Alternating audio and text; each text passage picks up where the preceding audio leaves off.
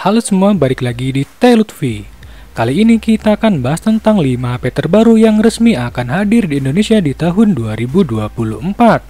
Akan tapi sebelum kalian menonton videonya, ada baiknya klik tombol subscribe dan loncengnya juga ya agar kalian tidak ketinggalan informasi menarik lainnya.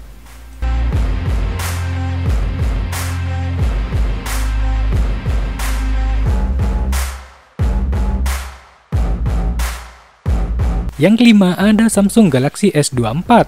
Ponsel kelas atas ini hadir dengan spesifikasi yang sangat bagus. Galaxy S24 menggunakan chipset tertinggi Snapdragon 8 Gen 3 berkecepatan octa-core 3,3 GHz yang diperkuat dengan RAM 8 GB dan 3 pilihan memori internal 128 GB, 256 GB atau 512 GB yang sudah menggunakan semprasi Android 14. Pada bagian kamera menggunakan tiga kamera belakang dengan resolusi kamera utama 50 megapiksel, lensa tele 10 megapiksel dan lensa ultrawide 12 megapiksel yang mampu merekam video hingga resolusi 8K pada 30 fps serta memiliki satu kamera depan beresolusi 12 megapiksel. Tidak kalah hebat, pada bagian layar menggunakan layar jernih terbuat dari panel Dynamic LTPO AMOLED plus 6,2 inci dengan refresh rate 120Hz dan beresolusi Full HD+. Selain itu, Galaxy S24 sudah menggunakan sensor pemindai sidik jari pada bagian layar dan memiliki fitur NFC. Selanjutnya, baterai jumbo 4000 mAh ditambah dengan fitur pengisian daya cepat 25 watt yang diklaim mampu terisi 50% dalam waktu 30 menit.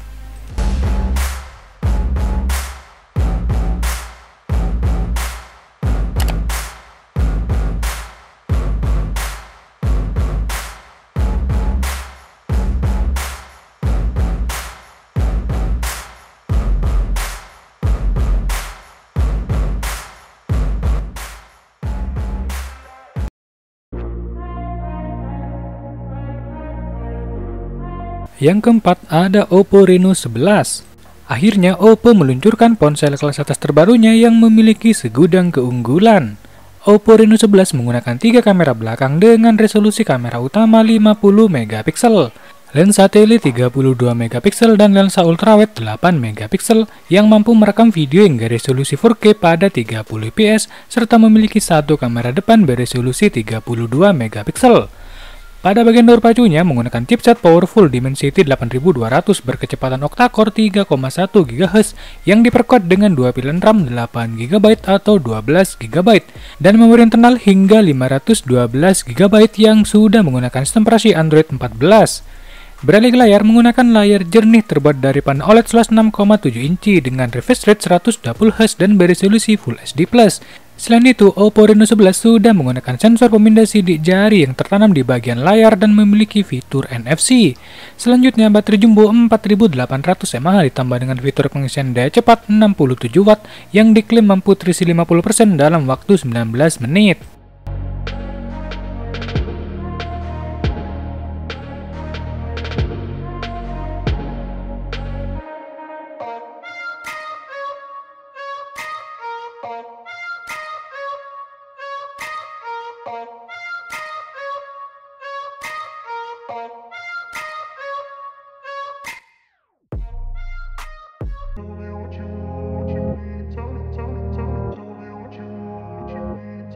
Yang ketiga ada Samsung Galaxy S24 Plus. Salah satu ponsel terbaik dari Samsung ini hadir dengan kamera dan performa yang sangat baik.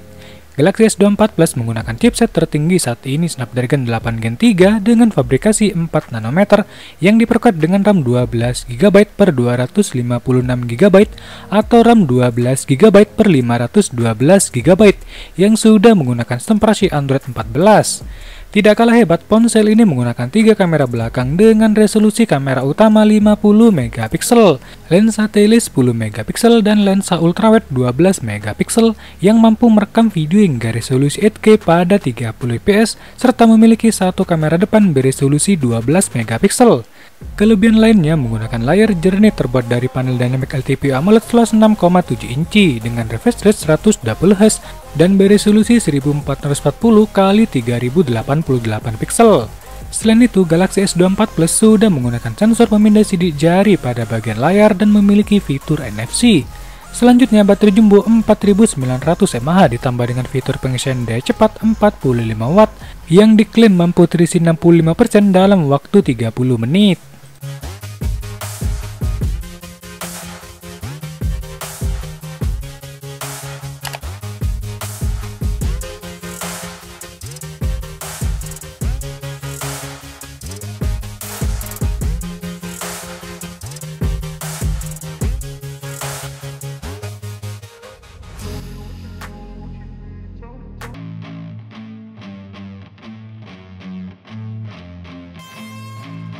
Yang kedua ada Oppo Reno 11 Pro. Diam-diam Oppo meluncurkan ponsel terbarunya dengan spesifikasi yang sangat mewah. Oppo Reno 11 Pro sudah menggunakan chipset tertinggi Snapdragon 8 Plus Gen 1 berkecepatan octa-core 3,2 GHz yang diperkuat dengan RAM 12 GB per 512 GB atau RAM 12 GB per 512 GB yang sudah menggunakan sistem operasi Android 14. Tidak kalah hebat, di bagian kamera menggunakan tiga kamera belakang dengan resolusi kamera utama 50 megapiksel, lensa tele 32 megapiksel dan lensa ultrawide 8 megapiksel yang mampu merekam video hingga resolusi 4K pada 60 fps serta memiliki satu kamera depan beresolusi 32 megapiksel. Keunggulan lainnya, ponsel ini menggunakan layar yang sangat jernih terbuat dari panel OLED plus 6,74 inci dengan refresh rate 120Hz dan beresolusi Full HD+. Selain itu, Reno 11 Pro sudah menggunakan sensor pemindai sidik jari yang tertanam di bagian layar dan memiliki fitur NFC. Selanjutnya, baterai jumbo 4700 mAh ditambah dengan fitur pengisian daya cepat 80 watt yang diklaim mampu terisi penuh dalam waktu 27 menit.